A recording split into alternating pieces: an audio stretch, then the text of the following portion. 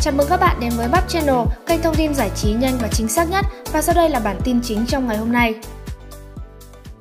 Lan Ngọc từng thẳng tay tác chồng của Thúy Ngân trên sóng. Trong một lần ghi hình, Lan Ngọc đã tác chồng Thúy Ngân là Việt Vương, khiến Hoa Sang Mồi ngồi sụp xuống trên sân khấu và bật khóc. Thực chất, drama này chỉ là một tình huống ở Quý ông đại chiến. Đang mảnh bao hẹn hò với Lan Ngọc ở quán cà phê, Việt Vương bỗng chạm mặt Thúy Ngân đang đi ship hàng. Hoa Sang Mồi thấy chồng liền hồ hởi hỏi anh đi đâu, thì người này biện minh là chỉ đang đi ký hợp đồng. Ngỡ Lan Ngọc là đối tác của chồng, Thúy Ngân còn lễ phép cúi chào rồi khoe với Việt Vương. Hôm trước anh nói chưa lãnh lương nên cô đã ráng chạy thêm mấy cút nữa để đóng tiền học cho con. Rồi vui vẻ khoe mấy chục nghìn vừa kiếm được. Lúc này Lan Ngọc hoang mang cực mạnh nên hỏi lại danh tính của Việt Vương thì Thúy Ngân cho biết đây là chồng mình và làm nghề chạy xe ôm chứ không phải là kỹ sư giàu có như trước giờ vẫn thường khoe khoang với Ngọc Ngọc. Nghe vậy, Lan Ngọc đã đưa tay tát vào mặt người đàn ông này kèm theo hai chữ sở khanh khiến Thúy Ngân hoang mang vì bỗng nhiên chồng mình bị đánh. Bé nớt liền vạch trần Việt Vương vốn là bạn trai mình và là một kẻ lừa đảo. Hôm đó, cô vốn đến quán cà phê để gặp ba mẹ anh bàn chuyện cưới hỏi. Thúy Ngân ngồi trên sàn trách móc rằng cô từng nói mình chấp nhận dầm mưa giải nắng làm tất cả mọi thứ,